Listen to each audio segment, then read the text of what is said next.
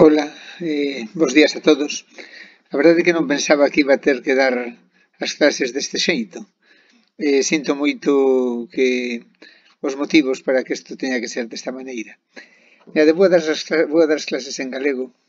Eh, teño as diapositivas en, en castelán, en, en inglés. Eh, eh, e a ver se son capaz de arreglarme. Moito máis difícil para min aínda falar unha pantalla. Pero bueno, a ver que se podo ser de utilidade deste xeito. Eh, empezo a falar, eu vou falar de xenética forense, eh, realmente non tedes moitas clases de xenética forense, nada máis que seis horas. Eh, eh, vou no dividir en dúas presentacións orais, eh, en tres presentacións orais, eh, unha para cada, para cada dúas horas de clase. Eh, o xeo que vos quería contar era un poquinho o concepto de xenética forense, dar o marco legal do que se desenvolve o noso traballo, contar tamén un pouco, chegar hasta prácticamente o ADN e os microsatélites, para na seguinte clase contarvos xa de tecnoloxía de ADN e, e como se fai máis o traballo do día a día de xenética forense. E finalmente quería dedicarlle un día inteiro que me parece máis importante que a interpretación dos resultados e que entendades un pouquiño as probabilidades e a estadística que e as limitacións que basicamente teño, temos. Eh, eh, bueno, mm, xenética forense é a aplicación da xenética á resolución de problemas judiciais. Eh, realmente é unha especialidade bastante nova eh, dentro da, da medicina forense, pero que supón unha parte, unha parte importantísima da súa actividade. Eh, empezou fai anos, fai moitos anos, Eh, e que facemos os genetistas forenses? Eh, basicamente o que facemos é eh, eh, auxiliar os suíces en, en materias que nos piden. O que nos piden basicamente son probas de paternidade, eh, traballo eh, de criminalística biolóxica, análisis de manchas de sangue, de esperma, pelos, cabelos, mostras de contacto, basicamente son células epiteliais.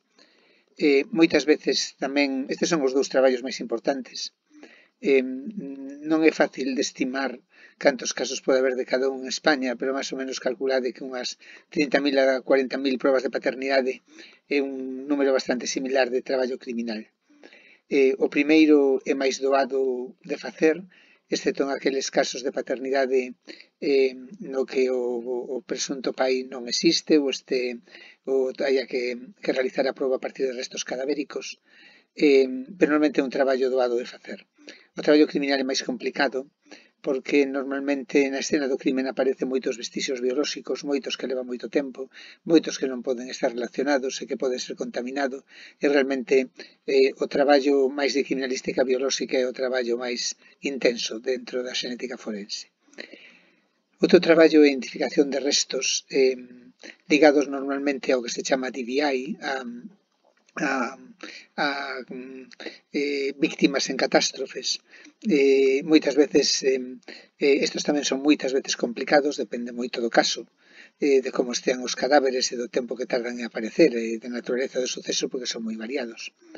Normalmente, eh, o ADN é o último, mm, o método máis seguro de identificación, acaban recurrindo a el en casos os, nos casos máis máis habituais. Eh, casos de identificación de restos óseos ou de restos humanos eh, non hai moitos o ano en España pode haber uns centenares como moito, pero moitas veces temos que axudar en, en grandes catástrofes e, e, e botar unha man, unha man ali. Particularmente nós, que somos moito un centro de referencia, e, ademais un centro no que eu estou, involu, estou involucrado na, na, no Comité Farense da Cruz Vermella Internacional. Ali, por mandato das Nacións Unidas, pois o que facemos é eh, danos unha eh, facemos unha serie de misións de acordo cos cartos que teñamos, eh, e que pode ser do máis variado, identificación de desaparecidos en Guatemala, restos óseos en México, terremoto en Finlandia, en, en Filipinas, digo, eh, ou cousas dese estilo.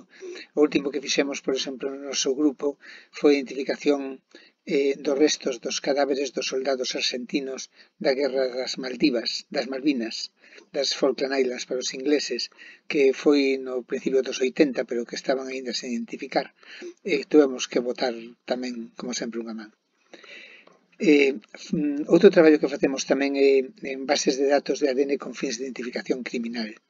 Eh, en España, como xa contarei, cando unha persona mm, comete un delito importante, eh, eh, eh, vai directamente os, eh, o, eh, o seu perfil de ADN a unha base de datos para eh, cruzala con outros delitos, o crimen é moi cruzado e pode ter cometidos outros, e tamén para no caso de que salga da cadea se comete un, outro delito, inmediatamente poda ser trazado.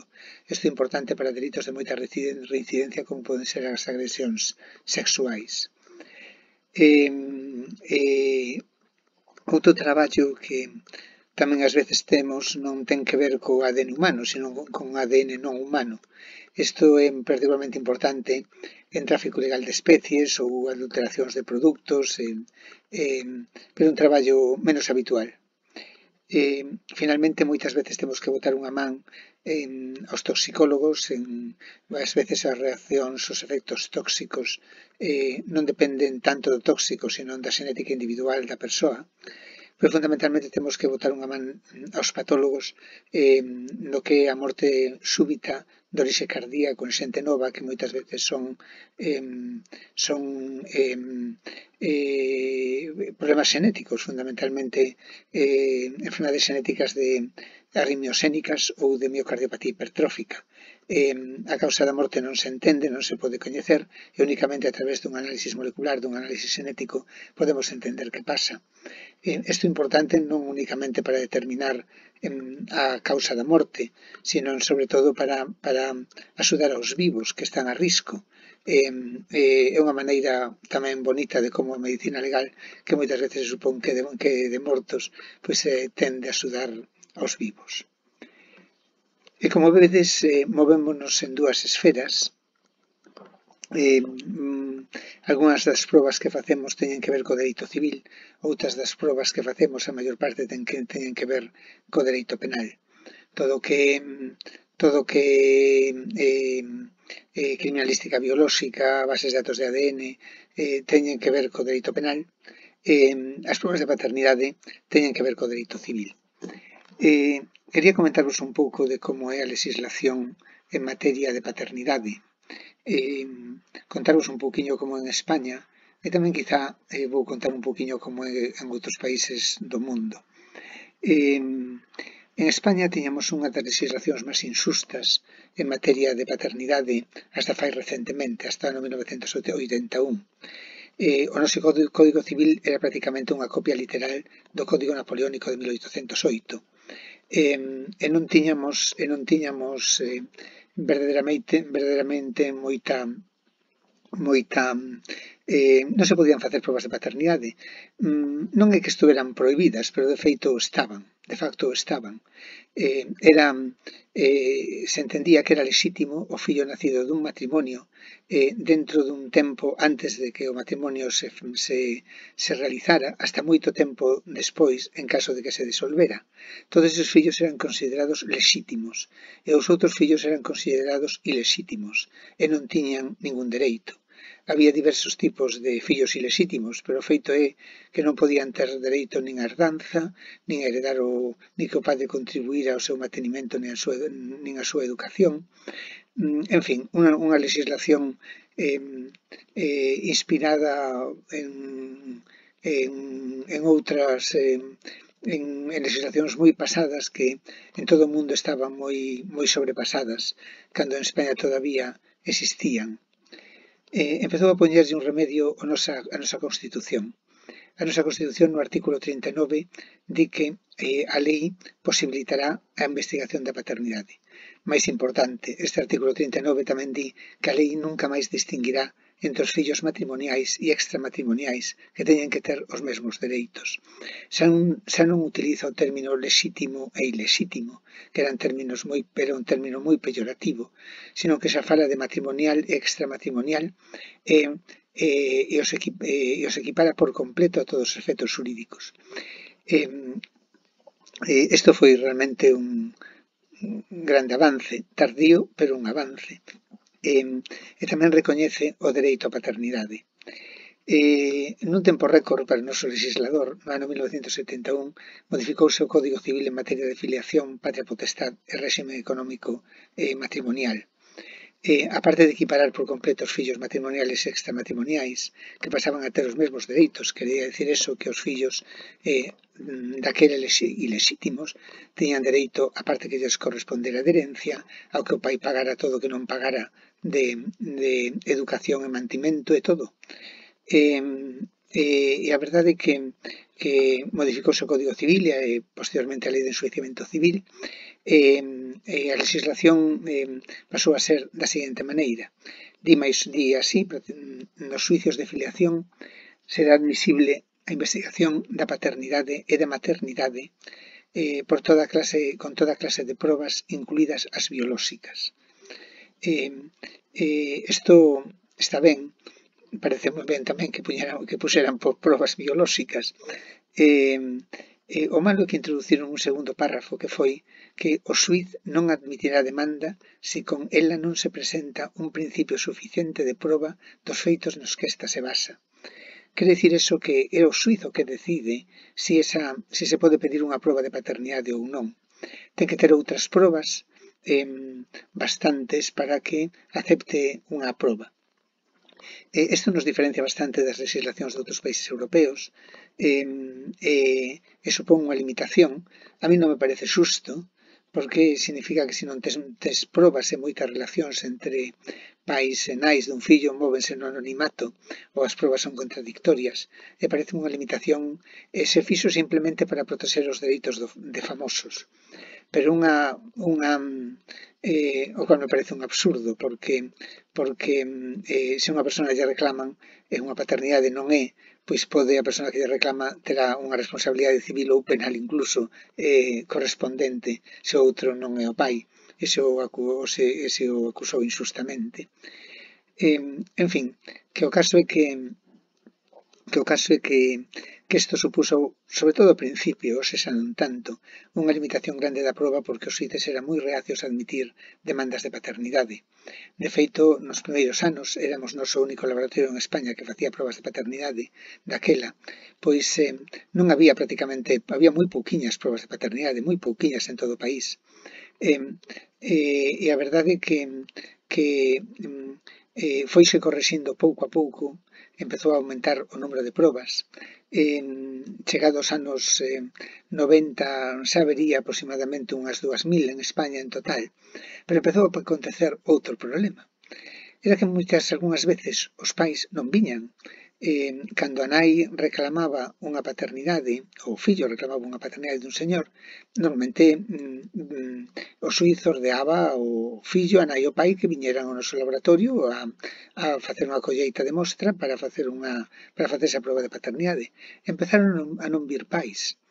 Eh, a cuestión foi que o Tribunal Supremo eh, amparou a negativa do pai a someterse a proba nunha serie de casos eh, os pais o que argumentaban era que podía eh, que aquilo era unha era un atentado contra a súa intimidade persoal, contra, o seu honor, contra o seu honor e, e, e incluso contra a súa integridade física. Claro, eh, empezou a deixar de haber probas en España porque todos, todos os abogados no exercicio lexítimo da súa profesión recomendaban aos seus clientes que se tuveran dúbidas de ser o pai, se pensaban que eran o pai e non querían selo, que non foran, porque lles era máis fácil defender unha negativa que defender unha proba que lle viña con unha probabilidade brutal a favor. E se negaban. Eh, afortunadamente, eh, o dereito da paternidade é un dereito constitucional Igual, obviamente, que os dereitos que os pais mm, eh, argumentaban para non someterse á proba, a intimidade, o dereito ao honor, o dereito á integridade física, son tamén preceptos constitucionais. Pero para iso temos o, temos o Tribunal Constitucional, que sabedes que pode intervir cando hai, unha, cando hai eh, eh, artigos ou, ou preceptos constitucionais que estén en, en disputa. E, afortunadamente, un, unha dos, eh, das mulleres presudicadas eh, reclamou ao Tribunal Constitucional, que no ano 1994 mm, mm, dictaminou que, eh, que eh, eh, e a mí me pareceume maravillosamente ben, aunque foi moi criticada pola doctrina, que mm, a doutrina chamase os estudosos do, do dereito. Eh, dictaminou que eh, non lles parecían proporcionais que o dereito da paternidade quedaba totalmente abolido e que acaso o dereito eh, a intimidade, o dereito á integridade física, o dereito eh, e, os, e os, outros, os outros dereitos quedaban, se acaso, parcialmente menoscabados. A min realmente parece, eh, parece moi ben porque eh, dereito ao honor, se xa aínda por riba hai unha proba en contrario que o xuiz estime para pedir a proba de paternidade, O dereito á intimidade é moi sutil. Que, que é intimidade? Se como se fan as probas non prácticamente non afecta nada a intimidade. E o dereito á integridade física simplemente poñíame de mal humor porque, porque cando argumentaban, e moitos o defendían, porque decían que unha, unha mostra de sangue era, era eh, atentaba a integridade física a mí parecía desproporcionado, porque pero sería non ter o fillo, pero decía eu, e saliva e un pelo, decíame que tamén, porque eso era violento. Eu non o entendía e por eso alegreime moito que o Tribunal Constitucional declarou que como, os, como eses preceptos non eran proporcionais, eh, toda aquela mm, persoa que se negara a someterse a un test de paternidade argumentando este tipo de cousas era considerado como unha evidencia en su, na súa contra. De modo que era o pai. Houve unha serie de, de casos de famosos no que ditaminou que era o pai, por non someterse a proba, e foi mandesando porque a partir dali empezaron a vir outra vez todos os pais, pola conta que lles tiña. E, e a verdade é que, que así, que así eh, foi a cousa. Outros países é un pouco diferente. En Francia é moi parecido a España. Somos países que temos menos probas de paternidade, eh, tamén porque non están cobertas, non están cobertas, eh, eh, teñen que ser pagadas polas partes que solicitan a proba, eh, salvo aquelas persoas que se podan acoller a justiza gratuita, eh, ao beneficio da justiza gratuita. Eh, eh, eh, eh, eh, e bueno, e tamén teñen a limitación do principio de proba. A limitación do principio de proba é prácticamente exclusiva destos dous países e Italia. O resto dos países non é así. Países que teñen moitas probas de paternidade, en cambio, son Portugal, Alemania, que acaba de modificar a súa legislación para facela equivalente á legislación portuguesa, e Escandinavia. En, en estes países, en Portugal, en Alemania, en, en, eh, é considerado, eh, son moi protectoras do menor e se considera que o menor ten, ten o dereito de ter un pai. E a nai é obligada por o Ministerio Fiscal a dar nomes de pais que son analizados eh, eh, para ver se si son o pai. Ten que decir tantos, tantos nomes de pai como lle requira o Ministerio Fiscal. E o Estado cubre as probas a verdade é que isto fai que teña moitos casos de paternidade. Eh, eh, a min non é que a mí non me parece, bueno, é unha legislación moi garantista para os delitos do menor. Eh, tamén moitas veces a nai quere ocultar eh, quen é o pai, e por moitos pais que lle digan non van a ser o pai que é. Eh, parecen un poquinho exagerada. Gústame máis Escandinavia e os países que donde parece máis libre todo. Ali, por exemplo, en Noruega e Suecia, é a nai na que, no que, na que únicamente a nai na que no registro civil pon o nome do pai, eh, o nome da eh, eh, o, o ningún, pode poder poñer ningún. E a oficina de registro civil comunícate que tires o pai, e se non eres o pai, reclamas. Eh, en fin, sistemas distintos, moi distintos, en países distintos, eh, eh, que que indican un poquinho tra, a diferencia tan grande en tradicións, eh, particularmente no direito civil en, en, en Europa. Eh, e, e, e así é. Bueno, o caso é que as probas de paternidade foron aumentando, eh, hoxe en día os suíces admiten prácticamente calquera tipo de proba, eh, é raro que isto poda ser un problema, eh, aínda así ás veces sigue sendo unha limitación, eh, a maior parte das probas de paternidade eh, hai, hai reclamacións e impugnacións, eh, impugnación de paternidade chamamoslle cando un pai di que algún dos seus fillos non é fillo del eh, eh, nos tivemos un caso de hasta nove fillos ou máis. Eh, non me acordo, creo que eran nove, pero non estou seguro, que dubidaba da paternidade dos nove, era o pai dos nove. Eh, eh, eh, hai, hai máis impugnacións que reclamacións de paternidade. Reclamacións é cando o fillo eh, eh, ou a nai reclama unha paternidade dun señor que poden facelo en calquera momento da súa vida ou logo da súa morte para exercitar os seus dereitos. E finalmente, decirvos que tamén hai probas de maternidade, eh, agora prácticamente todas ligadas a casos de inmigración, pero que antiguamente así, así as había, eh, penso que a maior parte das que houve no país fixémolas nós, eh, eh, eh, porque aparecía, porque eran eh, cambios en clínicas, tuvemos algunha do Virxe do Rocío en Sevilla donde había un troco de fillos, tamén de Vigo, recordo unha divertida que foi unha paternidade de unha maternidade de Valencia, donde unha nai e unha filla deron a luz con intervalo de moi pouquiñas horas un fillo as dúas. E botaban a culpa a unha tía de que pola noite xa non se sabía quen era a nai e quen era a filla, ou sea, non se sabía quen era a filla e quen era a neta. De que, eh, eh, eh, eh, a, a nai decía que, que a ela daba igual a súa filla, que fora a súa filla que se fora a súa neta, pero a súa filla decía que non, que fora a súa irmán ou que fora a súa filla que había moita diferencia. Eh, daquela estábamos empezando a facelo e tardaron en dar con nós. E afortunadamente, uns meses máis tarde, cando deron con nós, solucionouse con facilidade. En fin, eh, eh, casos de todo tipo eh, eh, que reflexan simplemente o como é eh, mm, a vida. Materia penal xa vos decía que era a parte máis importante do que do traballo que facemos, desde o punto de vista do perito eh, bastante distinta que a pericia civil, non, non únicamente por número de peritos e outras cousas que vos contarán ou se haberán contado na clase de pericia médico-legal, sino que particularmente para nós é importante porque en pericia penal os eh, informes que enviamos non teñen validez hasta que sean, non sean ratificados e defendidos no suizo oral de modo que estamos obligados. Ainda así, na pericia civil temos que ir moitas veces a suizos, eh, eh, pero xa no caso penal é absolutamente contradictorio, era eh, obligatorio. Mm, Hai, hai moitas eh, diferencias entre, eh, tamén desde o punto de vista pericial, entre os, entre os países.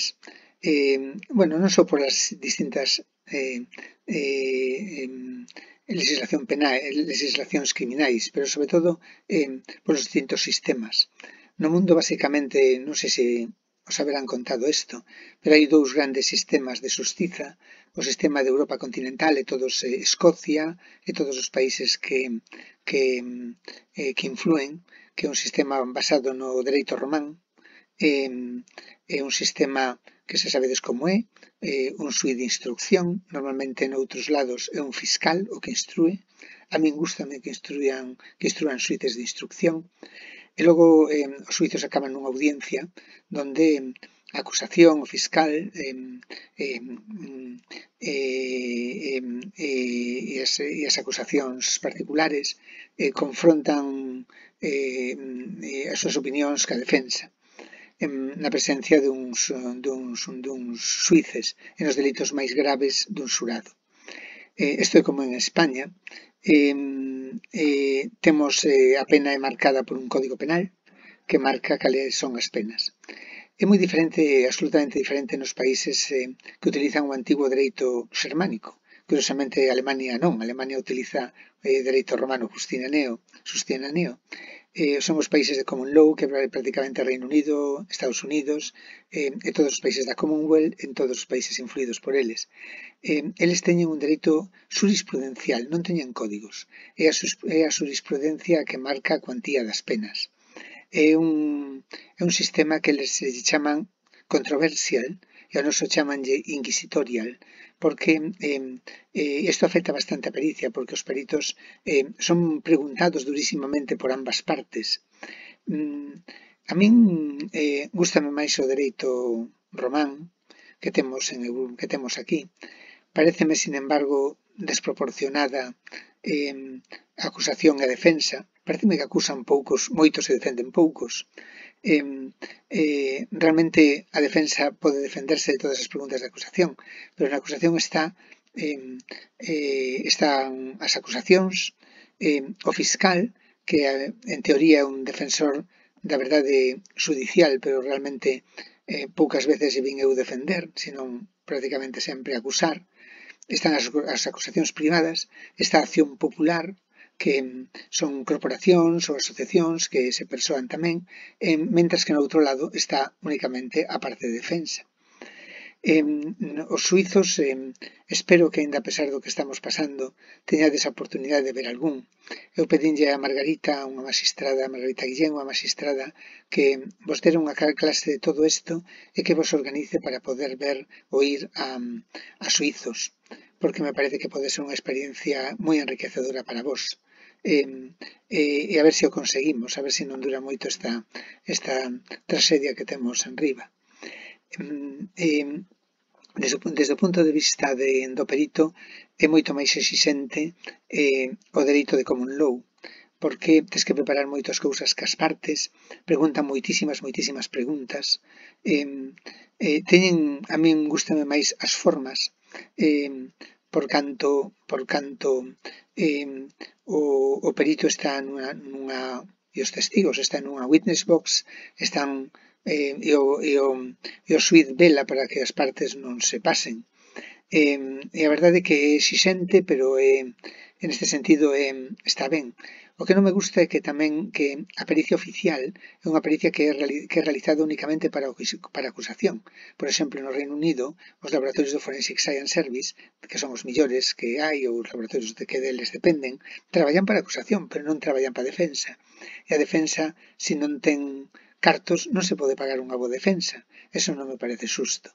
Eh, eh, Tamén as opinións que poden ter os peritos eh, no Reino Unido poden ser moi divergentes, mentras que aquí un perito que faga pericia oficial mm, van a ser moito máis próximas, non así a pericia privada, pero a pericia oficial todos van a intentar defender a verdade, póñense no, no lugar do suiz. Eh, bueno, eh, eh, eh, tampouco me gusta moito o tema da que sea jurisprudencial en que non teña códigos, gustame máis con códigos, eles a ter un dereito puramente jurisprudencial sí que necesitan xurados para saber eh, cal é o que opina a población dun delito. Eh, é unha maneira de, de, de ir cambiando as cousas pero isto pareceme un pouco perigoso, mentras que eh, gustame máis que as penas estean estipuladas, estean de, de, de, definidas e decididas en base non únicamente á opinión da poboación, sino tamén en base aos principios de dereitos, da tradición e de, outros, e de outras cousas. Pero se fóramos quen de modificar as cousas de forma áxil, parece un dereito, a mí un dereito que me gusta máis o dereito que temos aquí. En fin, eh, conteivos un pouco por riba todo isto porque realmente está se me dando fatal contar isto para unha, para unha pantalla dun ordenador en vez de contalo para a cara da xente. Necesito xente para contarlle cousas. A seguinte que grave vou a ter miña filla enfrente a ver se lle conto as cousas porque eh, dáseme fatal. E quen realiza todos estos, todas estas cousas con tanto traballo que temos? Xa vos decía que nos tempos pasados éramos o único laboratorio que hubo no país, prácticamente hasta o ano mm, ben entrada a década dos 80, eh, nos empezamos a nosa actividade na década dos 70, éramos o único laboratorio, eh, pero empezaron a surdir outros moitos laboratorios oficiais e privados. Eh, en España hai máis de cerca de 50 laboratorios en total, eh, a maior parte privados, eh, deles uns poucos están acreditados para pericia criminal. Prácticamente todos os laboratorios privados eh, traballan en probas de paternidade. Eh, laboratorios acreditados que traballan eh, para, um, por unha norma ISO que xa vos contarei despois, que se chama mm, de, 17025, que é obligatoria para poder facer traballo en pericia criminal. Son pouco máis dunha dúcia deles, entre eles os catro laboratorios do Instituto Nacional de Toxicoloxía, os tres que ten a Policía Nacional, dous de Policías Autonómicas, o Laboratorio da Guardia Civil, o noso Instituto de Medicina Legal e tres laboratorios privados que están concertados con algunhas autonomías, por exemplo, Navarra fai un laboratorio privado. Eh, no resto do mundo hai diferencias tamén, hai en total mm, eh, bueno, hai centenares de laboratorios, pero é unha actividade moito de países do primeiro mundo depende moito da organización do país. Por exemplo, nos países escandinavos está organizado en moi poucos laboratorios oficiais, un ou, dou, ou dous por país.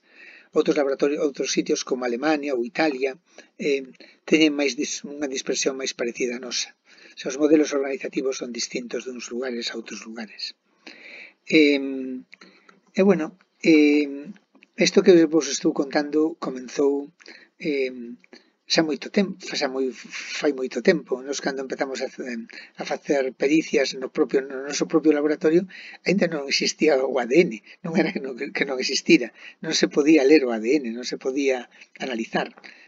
Sanger aínda non descubrira a técnica de secuenciación, imaginade. E que facíamos entonces? Pois traballábamos fundamentalmente con grupos sanguíneos. Sabedes que hai moitos grupos sanguíneos, antíxenos eritrocitarios, hai eh, eh Abecero, RH, Lewis, Lutheran, Kid, eh, Dombrock, moitos, moitos tipos. Eh, eh, teñen, facíanse con técnicas de, de aglutinación, se enfrentábase a, ao sangue un, anti, un antisoro para ver se si aglutinaba, porque tiña anticorpos contra elo. Eh, sabedes ben como se facía tradicionalmente o grupo, o grupo, o grupo ABC, o grupo RH. Eh, era era eh, non vos pensades que era tan fácil, o ABC RH é fácil, pero moitos grupos non eran tan fáciles e ás veces as aglutinacións non eran tan claras. Mm, moitos tiñan herencias codominantes, outros tiñan herencias de dominancia e recesividade, como ocurre como, con o AB0 eh, ou como RH. Sabedes que as persoas que son RH negativas, o sea, de, de, de grande, eh, digo, de pequena de pequena, non poden ter, se si dúas persoas, eh, o pai e a nai son RH negativo, non poden ter un fillo RH positivo eh, que sería de grande, de grande ou de grande de pequena. O RH é máis complicado, ten máis antíxenos aparte do D, ten o C, ten o E, eh, o sea que é máis complicado do que, do que conto. Eh, o abecero sabedelo todos ben. Eh, un pai que, que eh, que hai que A e unha, e unha nai que é B poden ter un fillo de calqueira tipo, Pois poden ter un fillo A, un fillo AB, un, tipo, un fillo 0 ou un fillo B. Eh, dous pais 0, en principio, non poden ter un fillo A nin un fillo B, e moito menos un fillo AB. Ainda que hai excepcións. Eh, sigue, isto vou logo poñer logo no chat de pregunta para que pensedes. Como é posible que, por exemplo, que dos pais, dous pais cero, e hai varias explicacións, eh, poden ter un fillo AB? Isto é interesante de saber. Bueno, o caso que cando, tra cando traballamos con grupos era, estábamos limitados, podíamos dar probabilidades tampouco moi altas, eh, porque tamén os grupos non son moi raros. Eh, avanzamos moito cando apareceron os HLA, se facían por técnicas de linfocitotoxicidade, se miraba a capacidade que tiñan os, os, os leucocitos de excluir un colorante que era mm, o azul de, de, de triptano, unha vez se daba un, un anticorpo, pero realmente era complicadísimo. Eh, ahora fanse todos por técnicas de biología molecular, pero daquela eh, mm, había que fiar moi moi fino, eh, había moitas reaccións cruzadas entre especificidades, era complicado foi máis, eh, mellorou bastante máis eh, cando se empezou a falar ca, se empezaron a facer proteínas, enzimas, eh, proteínas séricas, enzimas eh, eritrocitarias e leucocitarias, porque eran moi, moi, moito máis objetivas. Eh, isto que vedes aquí, por exemplo, é a hemoglobina, é a aptoglobina, que sabedes que é unha proteína que se une á hemoglobina para evitar que se filtre polo glomérulo. Hai xente que ten que un 1, como vedes estes que son aquí, xente que 2, 2 e xente que 2, 1. Isto oríntase de forma codominante clarísima. Dos pais, un un, non poden ter un fillo dous un, porque ten que vir, de alguén tuvo que, que quitar o dous. Eh, eh, isto é así de, de simple, de objetivo. E facíamos moitas, isto sí que cambiou moita cousa. A fosfoglucomutasa, particularmente, fosfatasa ácida, esterasa D, a glioxilasa, eran todo enzimas que se traballaba moito, e dentro das proteínas séricas, eh, a parte das aptoglobinas, as proteínas eh, eh, GC, eh, particularmente alfa unha antitripsina, que sabedes que é moi polimórfica, e sabedes ademais que en Galiza hai moito alelo S, eh, é unha máis que ninguna, en, prácticamente a, tota, a, aos outros sitios do mundo, non? eh, eh, e hai moito, moito, ten moitos, moitos subtipos, hai moitos subtipos do M, eh, bastante polimórfica. E así traballábamos, pero con moitos, eh, con moitos traballos podíamos facer probas de paternidade, pero estábamos moi limitados na criminalística biolóxica. Para analizar unha mancha necesitábamos que a mancha fora moi grande e que estuvera fresca, unha mancha de sangue, porque outras manchas e outras cousas era prácticamente imposible. Un pelo, un cabelo, como este que vedes aquí, mirábamoslo por, polo microscopio, podíamos decir a especie a que, pertence, a que, a que pertencía, si era, si era humano ou era de outra especie animal, podíamos decir se era de cabalo, de vaca, mirando eh, mirando a forma da eh, a cutícula, as escamas da cutícula, que é moi diferente dunhas especies a outras. Pero non era de moita axuda ao suiz, podíamos decirlle ao suiz, mire, isto que me pareceu unha enzima do, do, do, da víctima é un pelo, é un pelo humano. Pero se o que lle interesaba saber é, é deste acusado. Isto non lle podíamos respostar. Estábamos realmente moi, moi limitados e, e prácticamente non podíamos facer prácticamente nada. E todo cambiou cando apareceu o ADN. Sabedes que un xenio, para min o máis Para min é como Einstein ou como Newton, é un dos grandes da historia da humanidade que Fred Sanger descubriu a secuenciación de ADN e por elo deronlle o seu segundo premio Nobel de Química.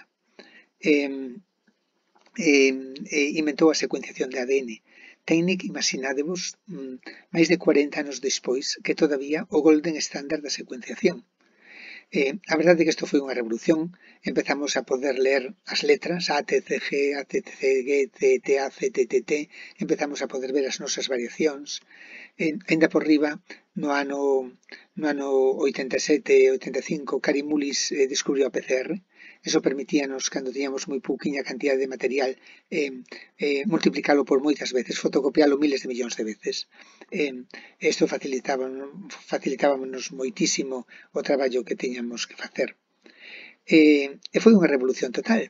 Eh, empezamos a poder ver, as, entender as variacións que hai no xenoma. A ver se si vos conto un poquinho desto. Eh, mirade, non somos... Eh, eh, moi parecidos os seres humanos entre nós. Eh, o motivo é que somos unha especie relativamente nova, eh, unha especie que apenas ten 200.000 anos, aínda que os europeos e os asiáticos teñamos un poquinho de xenoma neandertal e denisovano respectivamente, e eh, moi pouca contribución ao total do xenoma, un 2-3%. Eh, e temos un 99,9% de identidade. En que variamos?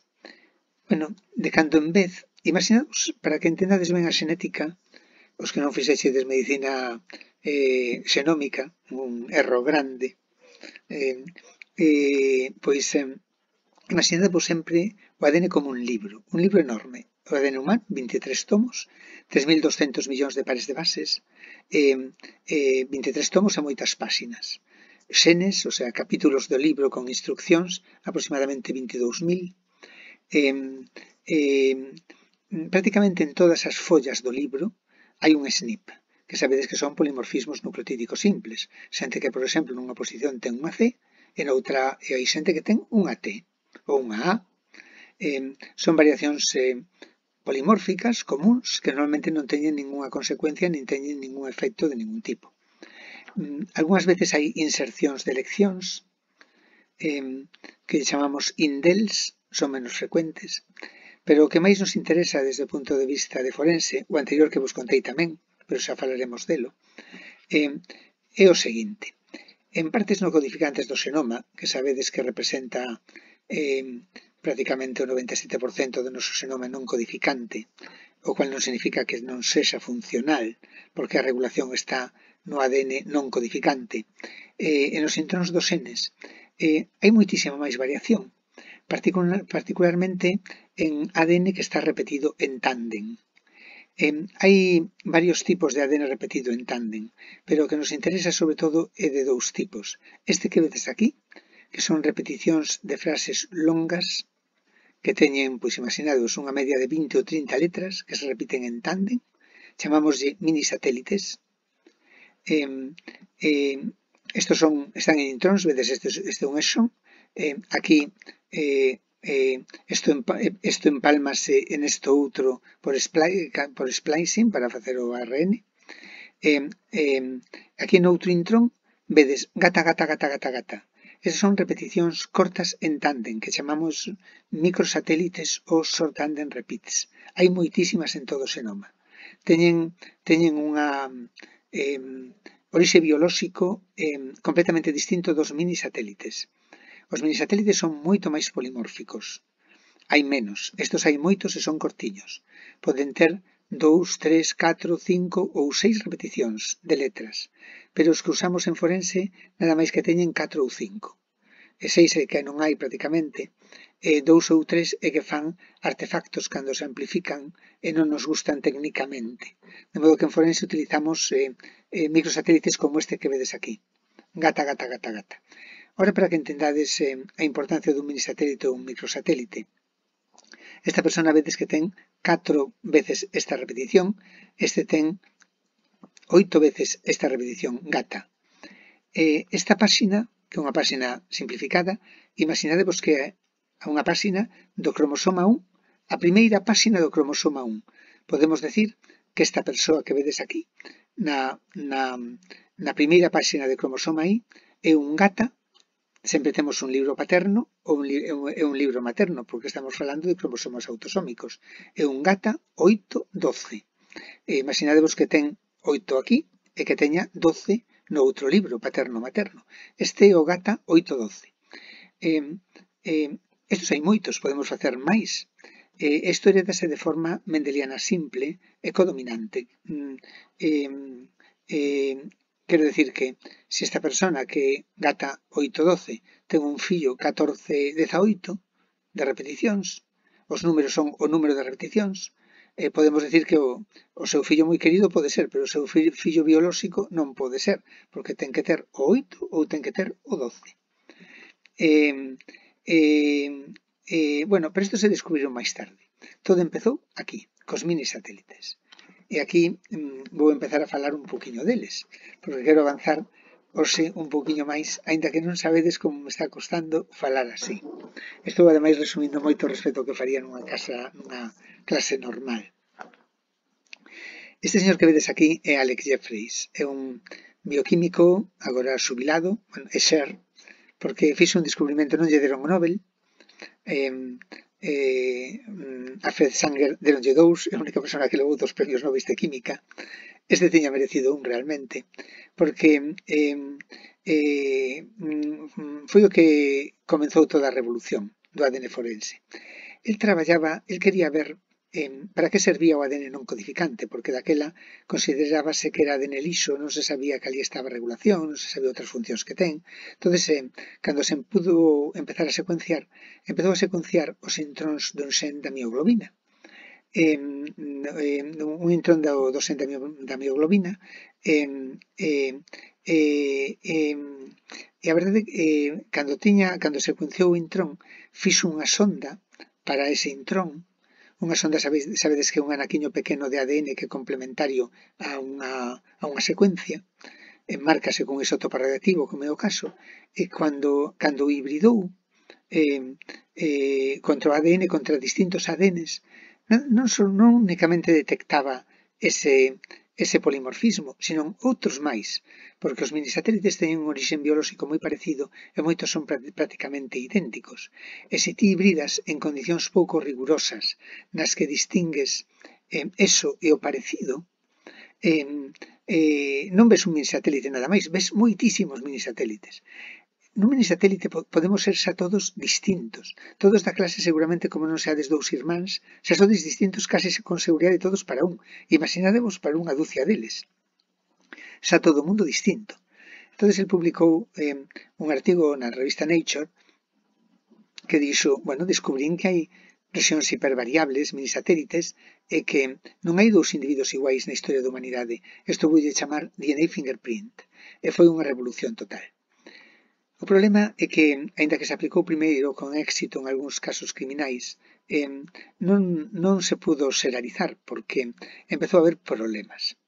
O problema é que cando ti hibridas en condicións pouco restrictivas, eso é mm, eh, sendo laxo na temperatura, en, as, en, en, en os buffers nos que fais a hibridación, mm, eh, ves moitas bandiñas, ves moitos minisatélites nunha solo, nun solo recorrido. Estos son persoas distintas. Que vedes aquí, cada carreira é unha persoa. Todos somos distintos. Pero que pasa? Que cando un laboratorio quer reproducir isto, non é capaz de reproducirlo exactamente. En Estados Unidos hai unha regla que se chama regla Fry, que que di que se outro laboratorio non pode reproducir exactamente o resultado dunha proba, esa proba é inválida. En un caso moi famoso que houve en Estados Unidos, que foi o caso Castro, a proba de ADN foi considerada unha proba inválida e anulouse por completo facer probas de ADN en Estados Unidos. Eh, de feito, produce, tiveron unha moratoria moi grande que eh, foi, eh, foi un avance importante para Europa, que nesta especialidade se, é das poucas especialidades que sempre estuvemos por diante de Estados Unidos, prácticamente todos os inventos foron feitos aquí. Eh, eh, tuvo que chegar un grupo, o grupo de Nakamura, que, que isto que vedes aquí á dereita, que en condicións moi restrictivas, marcando exactamente eh, todo, conseguía ver mini satélites individuais. Este é un mini satélite, pero nada máis que un. Vedes dúas bandiñas, isto por exemplo este é unha electroforesis, este é un individuo, este outro, este outro, este outro, este outro, este é un ladder que di, máis, que di o peso, o número de repeticións. Isto imaginadevos que fora, eh, eh, eu que sei, a nai. Eh, eh, ten, por exemplo, aquí 50 repeticións e aquí 500 repeticións. Isto vai para aquí, a electroforesis vai nesta dirección. Este é o pai, ten, por exemplo, 80 repeticións e 600 repeticións. Se estos son fillos, ningún é deles, porque teñen outras repeticións. É mm, como se facía. E a verdade é que eh, tuvemos que estandarizar todo moito, costou moito, moito traballo facelo, pero eh, eh, pouco tempo poidos utilizar porque apareceu a PCR, que xa non vos la conto, e apareceu sobre todo a invención do sortan de repeats. Isto estou falando do principio da década dos 90, do ano 92, que eh, van a ser o motivo da clase que vou empezar eh, para o próximo día. Bueno, espero que teñades disfrutado a clase. Agora quédame por ver a mí eh, vou parar isto, son capaz de colgalo en, en YouTube ou non, son capaz porque son medio inútil, pero pareceme a mellor maneira de irvos contando, xa que non pode ser presencialmente o que os apuntes e as diapositivas que vos deixo. Pois unha aperta forte a todos e, e, e bicos virtuais.